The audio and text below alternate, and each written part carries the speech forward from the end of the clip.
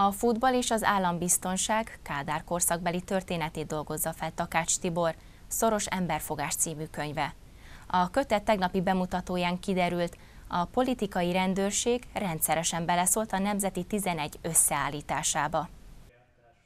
A könyv arra vállalkozik, hogy bemutassa a Kádár korszak évtizedeinek labdarúgás területén kifejtett állambiztonsági tevékenységét.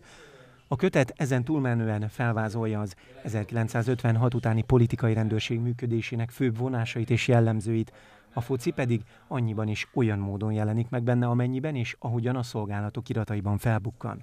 Számos érdekes történet, nem ismert kulisszatitok is felelhető a könyvben. Az állambiztonság részt vett a, a Nemzeti 11 összeállításában. És erre mondom én, hogy akkor valószínűleg senki nem gondolt, hogy hogy amikor mondjuk kikapott a csapat, akkor, akkor nem csak az edzőt vagy játékosokat kellett volna szidniuk, hanem mondjuk az állambiztonságot is, illetve ha nyertek, akkor nem csak a játékosok érdeme volt ezek szerint, hanem a, az állambiztonság is. Tehát ez, ez, ez volt számomra a legmegdömbető vagy legérdekesebb uh, sztori.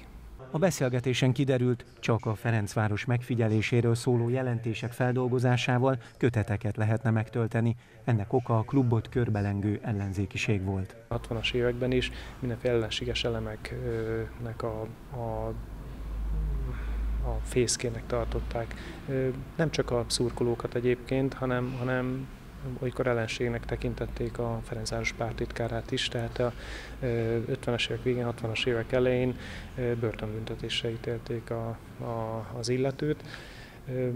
Tehát egy, egyfajta ilyen, ilyen a, a pártba befurakodott ellenségnek látták, vagy látották. Aztán a 70-es évekre ez azért lassan lecsengett. Ezzel együtt a kádári politikai rendőrség olykor maga sem tudta pontosan mi dolga a labdarúgás körül.